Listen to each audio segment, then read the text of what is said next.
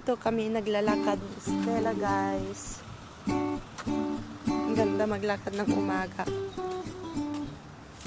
Lalangham mo yung sariwang hangin. Ayan may mga flower flowers dyan. Yan si Stella. Namoy niya yung mga grass grass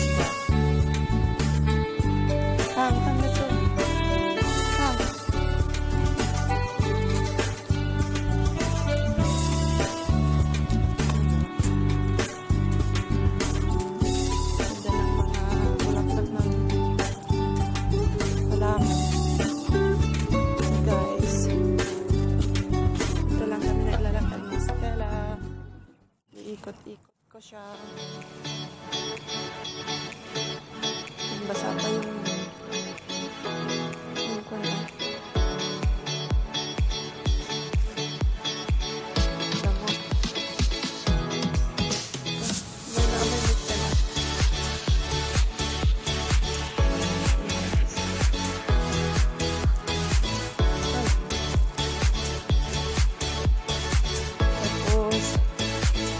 inaantay ko siyang magdumi, magbuko.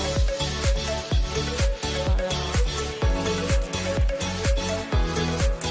papunta na dun sa mas magandang part na pupunta na.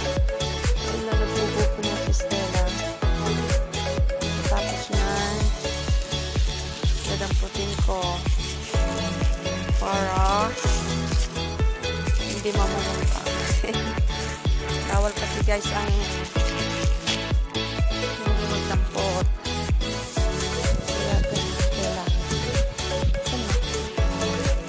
tayo? Tumahanap.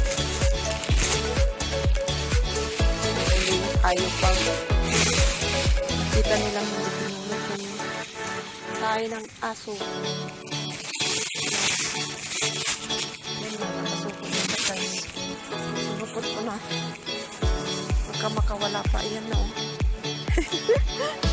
Baka makawala pa kaya linastick ko na. Saglit is na. Ganito guys ang trabaho ko dito. Kung hindi mag-alaga ng bata, mag-alaga ng aso. Pero magandang exercise to guys. Lalakad ko.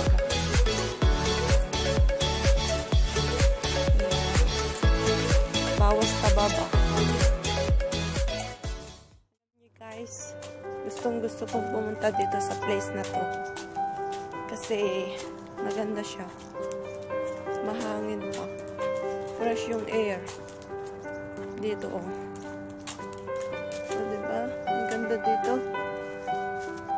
Dito kami nagtatambay minsan ni Stella. Ayan. Gusto gusto din niya dito. Diba Stella? Ayan.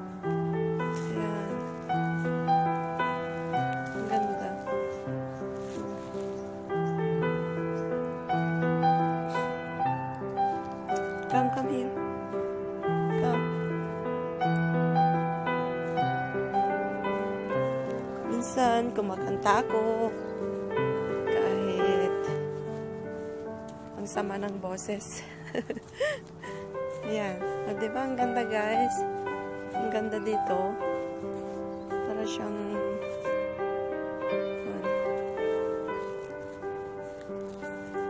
para siyang garden na ang tahimik. Kasi nga walang mga Pero paghapon, yung daming tao dito. May mga tao dito kasi may palaruan ng mga bata.